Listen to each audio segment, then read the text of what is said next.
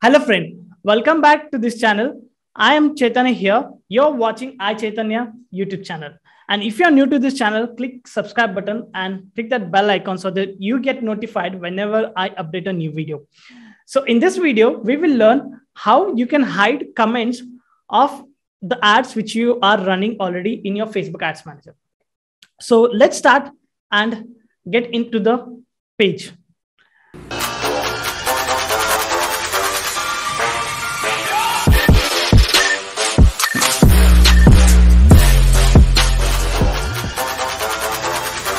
As you know, to run a uh, Facebook ads, a page is a mandatory, right? So uh, you need to go onto your page, and I'll walk you through how you can hide the comments automatically whenever somebody comments on your ads, so that it gets auto hide, right? So we'll get onto the page and get onto the screen now. So I'm onto my page here, and you can see you need to go to settings here and when you come down to settings, so you'll find a lot of options, right? And you know that to manage comments, it's a tedious task, right? So if you know the frequency of the uh, the comments which you get and you know that these are the particular comments which you always get on your ads so the better way is to add those com- add those keywords in your pages so that it gets auto hide on your Facebook ads. So let's see where you can hide the comments and put those keywords.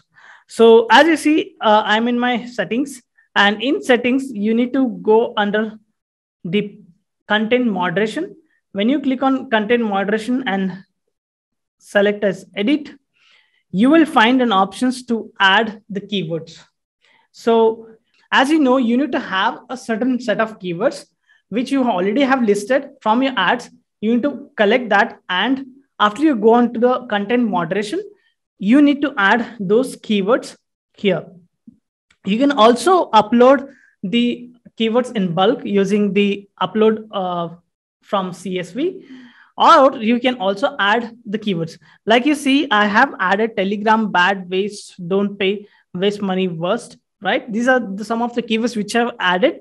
You can use any of the keywords which you see those comments following it. so you can also add uh, the number. Uh, let's say i add a number as uh, starting with the iso code as plus 91 so if anybody is commenting with the numbers i don't want that to be appearing on the comments. So i click on add and then see so this is so simple. You just have to add the keywords list the keywords.